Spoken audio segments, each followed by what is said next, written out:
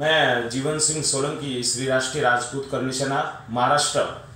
जिस तरह आज सुप्रीम कोर्ट का फैसला आया है फ़िल्म पद्मावत पर, कि चारों राज्यों से बैन हटा दिया गया है।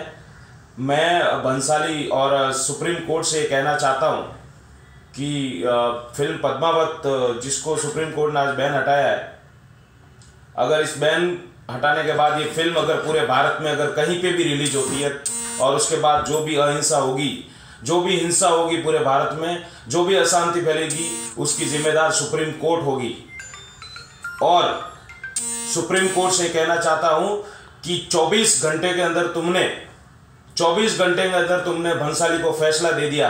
सुप्रीम कोर्ट में छः से साल केस चलते हैं छः से साल सुनवाई नहीं होती।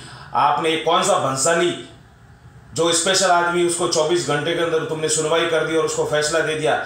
इस तरह समाज को बेवकूफ़ न बनाए, भारत की जनता को बेवकूफ़ न बनाए और फ़िल्म पद्मावत हम किसी भी हालात में भारत में रिलीज़ नहीं होने देंगे। और अगर भारत में कहीं पे भी ये फ़िल्म रिलीज़ हुई और भारत में अगर अशांति का माहौल फैला तो उसकी जिम्मेदार अब सुप्रीम कोर्ट होगी।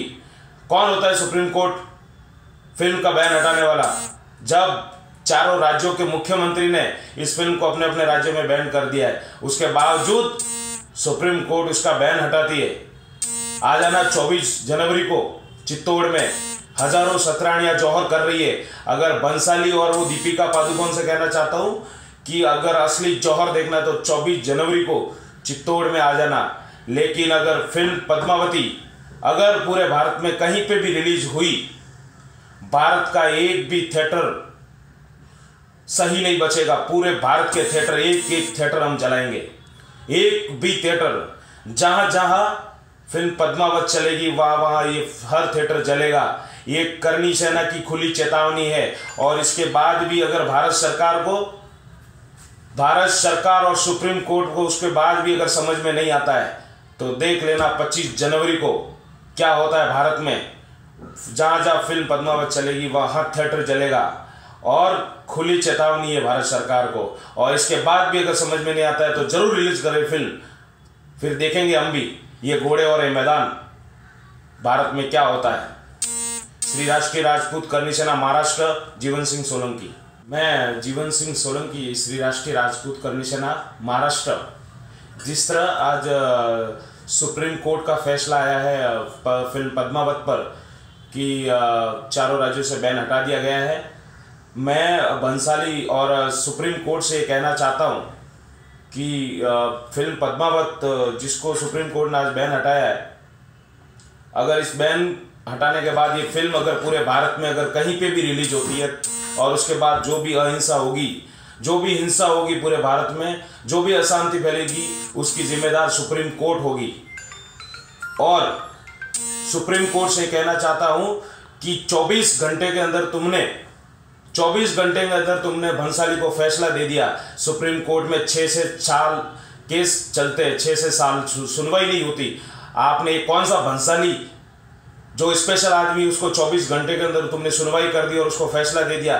इस तरह समाज को बेवकूफ़ न बनाए, भारत की जनता को बेवकूफ़ न बनाए और फ़िल्म पद्मावत, हम किसी भी हालात में भारत में रिलीज़ नहीं होने देंगे। और अगर भारत में कहीं पे भी फ़िल्म रिलीज़ हुई और भारत में अगर अशांति का माहौल फैला तो उसकी जिम्मेदार अब सुप्रीम कोर्ट होगी। कौन होता है सुप्रीम कोर्ट? फ़िल्म का बैन हटाने वाला।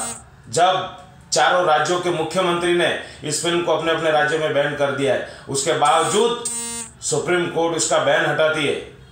आ जाना 24 जनवरी को चित्तौड़ में। हज़ारों सतरानियाँ जौहर कर रही है।